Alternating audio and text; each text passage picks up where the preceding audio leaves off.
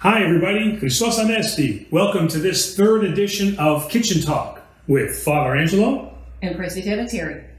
All right. So today we're going to take a little side trip away from Greece and we're going to head off to the the Cat, Catalonia, Catalonia, I believe. Catalonia area of Spain. Now, where this one came from is that when I was in the military, Teri and her friends had the opportunity to travel around to some of the different countries when we were living in Germany. So while I was working hard, she went out and went on this trip and was were able was able to sample some of the local dishes that were there. And this garbanzos con andouille was one of those. And so she brought that back. It's a really refreshing dish, easy to make, and it's great for now coming up for summertime. So I'm going to have Teri take you through the ingredients. Half an onion, it's been thinly sliced. I have a mixture in this bowl of garlic. I use three cloves because we like garlic. You can use less if you want, It depends on you. We have some parsley, two tablespoons chopped. I have some pine nuts or pignola nuts, about a handful. And then lastly, it's golden raisins that I soaked in hot water for 15 minutes. Here I've got garbanzos, or also known as chickpeas. And lastly, I know Father said andouille. It's actually chorizo, but it's you can use any kind of sausage you want. Why are we using chorizo? Aren't we supposed to be using like blood sausage? Isn't that the original one? Well, yes, blood sausage is the classic um, type of sausage you use. We don't have any. We made paella the other day. I still had some left. And blood sausage doesn't sound good to me. I've never had it. I chickened out, didn't want to use that, so hence chorizo. Ooh, now uh, blood sausage is very popular in Britain, right?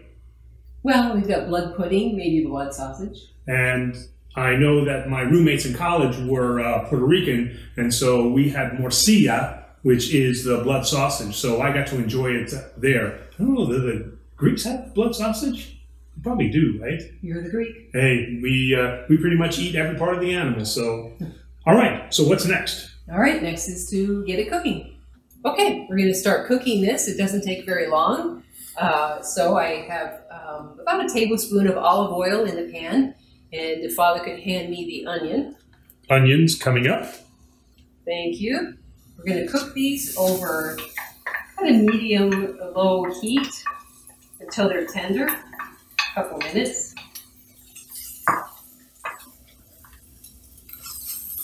Okay, so as you can see, these look pretty tender. So now I'm going to add the next ingredients. The father will hand them to me. Which ingredients are those? That would be the uh, garlic, parsley, pine nuts, and raisins. So we're just gonna throw those in there.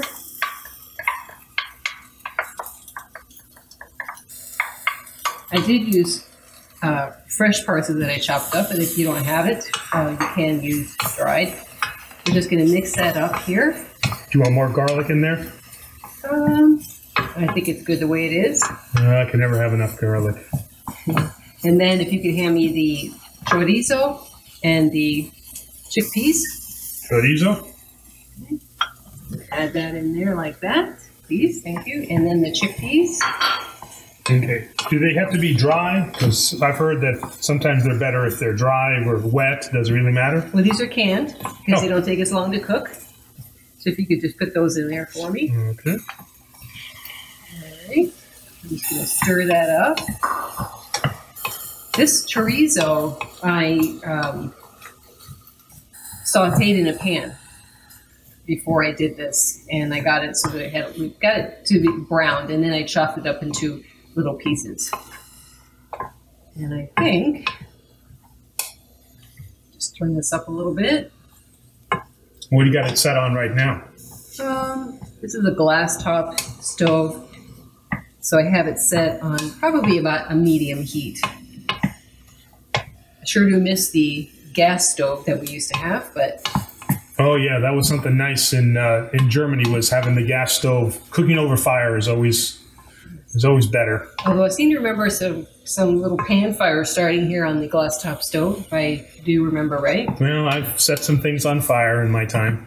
All right. Well, I think that this looks done. Well, let's see how this came out.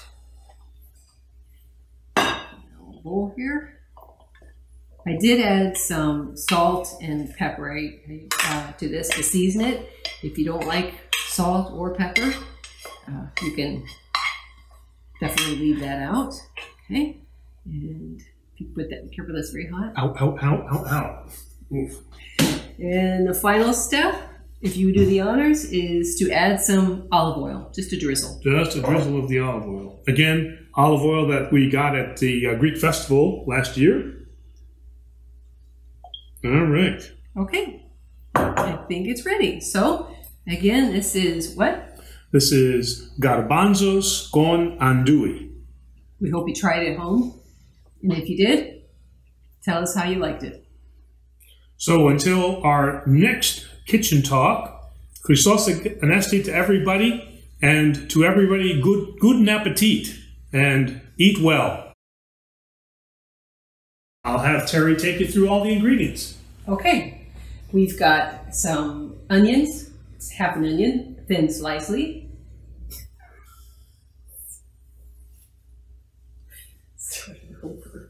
Thinly sliced, not thin slicely. Thin,